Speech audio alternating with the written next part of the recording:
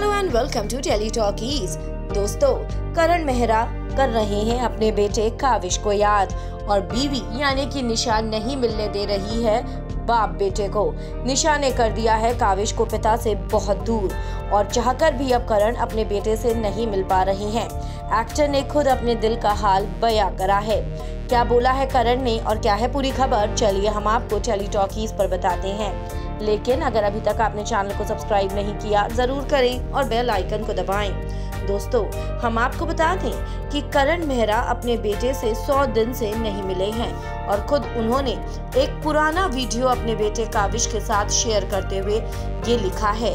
उन्होंने लिखा कि 100 दिन हो गए मुझे तुम्हें देखे हुए, मैं तुम्हें बहुत मिस कर रहा हूँ।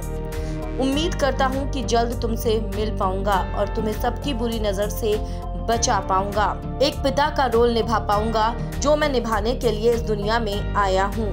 दोस्तों, इससे पहले भी जब पिचहत्तर दिन हुए थे तो करण मेहरा ने पोस्ट शेयर की थी और अब सौ दिन हो गए हैं। लेकिन निशा पापा को अपने बच्चे से या यूँ बोले करण को काविश से नहीं मिलने दे रही है। और करण इसको लेकर काफ़ी ज़्यादा परेशान है। खबरों की माने तो निशा रावल काविश की कस्टडी मांगना चाहती हैं और वो इसके लिए कोर्ट तक जाने को तैयार हैं।